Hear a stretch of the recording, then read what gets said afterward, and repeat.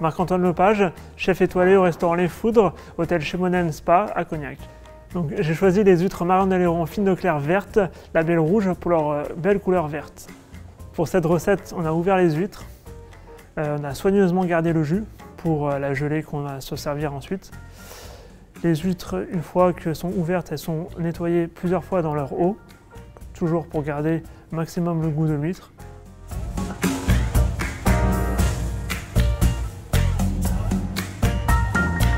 Après avoir égoutté les huîtres, on, va les tailler en brunoise, donc en petits dés pour vraiment avoir ce côté de cette mâche de l'huître. On commence à, à, tailler tous les condiments. Donc on va ciseler une échalote, hacher un peu de gingembre, gingembre frais. On va hacher de la nette. On peut couper donc une pomme verte en brunoise, un céleri branche en brunoise et un citron jaune pour avoir son zeste. Ensuite, on reprend donc les huîtres qui sont coupées euh, en brunoise. On va les assaisonner avec les condiments qu'on vient de faire. Échalotes ciselées, gingembre haché, aneth.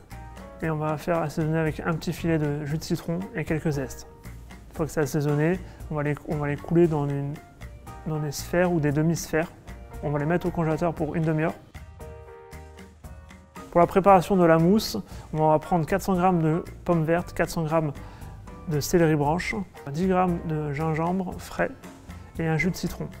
On va centrifuger la pomme verte et le céleri, suivi de gingembre et pour finir on va ajouter un jus de citron jaune. Pour avoir cette texture de mousse, on va ajouter donc soit euh, du Pro Espuma, soit une feuille de gélatine préalablement trempée dans l'eau. On la met dans un siphon, on va gazer deux fois.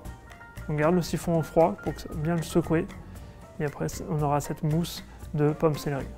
Donc on va récupérer le jus d'huître qu'on a mis de côté, on va le filtrer, on va le chauffer et on va incorporer soit de la gelée végétale, soit des feuilles de gélatine.